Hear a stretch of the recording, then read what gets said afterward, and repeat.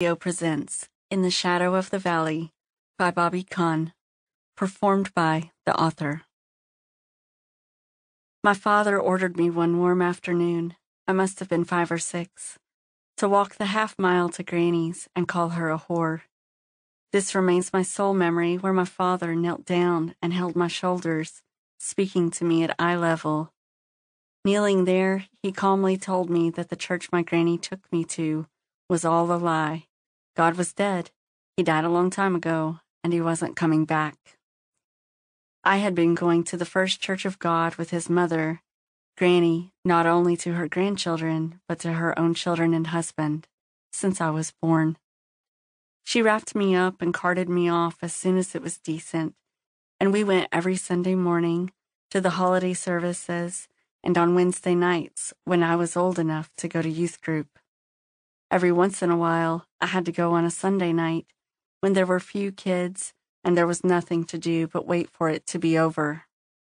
At the end of the Sunday evening service, though, the men would sometimes stand around whoever sat on the front pew in the middle aisle, lay their hands on that person, and pray in a babbling, overlapping way that made me think they might do something even stranger.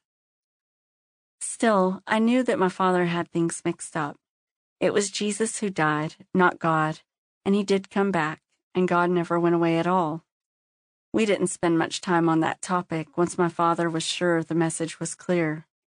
His attack on the church and God didn't bother me too much. I somehow knew it was retaliation for something Granny had done or said, like daring to voice her disapproval of his booze, his pills, his fighting man ways. At five, it never occurred to me that I could refuse the task he assigned to me. I nodded a, yes, I will do that, sensing his rage would quickly be redirected toward me if I showed any emotion.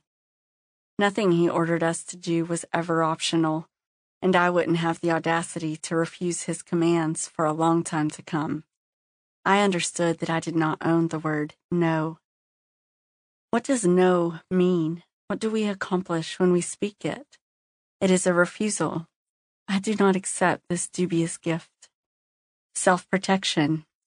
You will not violate my sovereignty. Denial. I am not these things that you name me.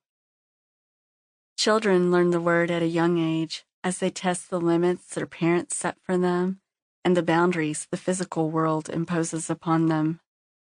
As frustrating as it is to accommodate the child's no, that word is essential. No functions in a way that please don't never has, in a way that tears and cries never will. It took me many years to learn the word no. I do not remember ever saying that word to my parents in defiance. You cannot make me do this, or in resistance. I will no longer be subjected to in fact, I do not remember speaking much at all as a child. I may have. My mother claims I did. But I remember so much more the quietness that engulfed me, shame and fear twisting my insides. I waited for moments to pass, for the confusion to subside, for the adults around me to say, everything is okay. No one ever did. Words were weapons, just another form of violence that I hid from. I hid myself deep so that on the surface, people would see quiet and good girl. I thought I could control their understanding of me, keep my inner torments a secret. It seemed like another sin to be so angry. But I did not realize how much my sense of self was controlled by all that hiding. As a child walking down that one lane gravel road, I thought I understood the word whore. I had heard it before, growing up in a home with few attempts to censor the vulgarities of the world. I had probably already heard it screamed at my mother, who never denied any curse, but who seemed to think her motherly arms would somehow protect her face and herself from what rained down. Somehow I knew it was a word for women, and I knew it was something to be ashamed of.